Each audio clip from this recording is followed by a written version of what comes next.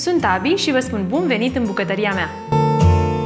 Azi vă propun o rețetă numai bună de pus pe mesele de sărbătoare, dar și în pachetelul de la școală ori în prânzul de la serviciu. Ingredientul principal sunt frunzele fragede de spanac, pe care vă invit să le consumați din plin. Pentru această rețetă am folosit 300 g aluat de foietaj, 400 g spanac proaspăt, 200 g telemea, 40 g cașcaval ras, o lingură pesmet, un ou, sare și piper după gust, un gălbenuș cu două linguri de lapte pentru uns deasupra, mac și susan. Mai întâi spălăm spanacul în mai multe ape, după care îl opărim în apă clocotită cu puțină sare pentru 3-4 minute.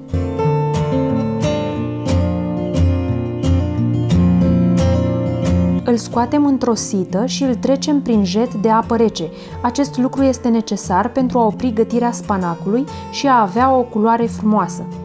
Stoarcem spanacul foarte bine, după care îl tocăm mărunt.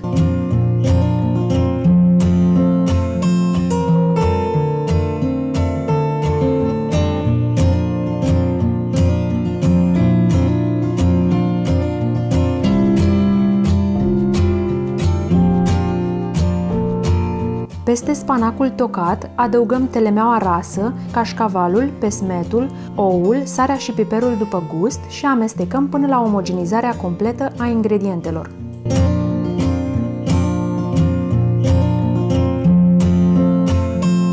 Tăiem aluatul în fâșii de aproximativ 5 cm și adăugăm umplutură de spanac, după care rulăm fiecare fâșie.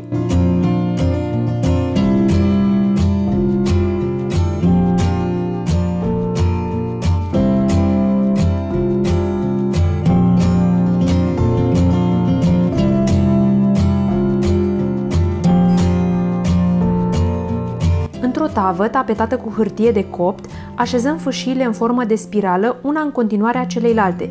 Deasupra, ungem cu amestecul de gălbenuș și lapte și presărăm mac sau susan. Coacem spirala cu spanac la cuptorul preîncălzit la 200 de grade Celsius pentru aproximativ 15-20 de minute sau până când se rumenește frumos. Același aluat, aceeași compoziție, o puteți face sub formă de mini spirale.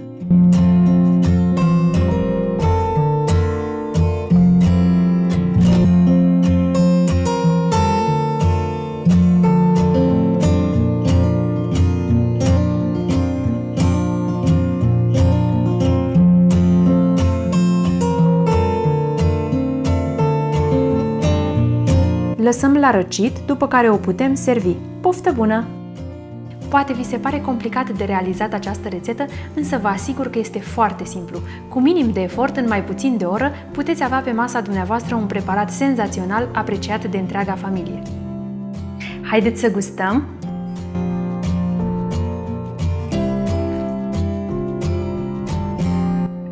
Mm, foarte bună! Această spirală o puteți servi atât caldă cât și rece.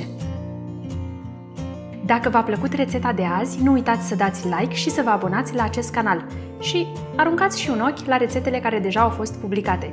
Până data viitoare, nu uitați, mâncarea are alt gust atunci când o gătești cu plăcere. La revedere!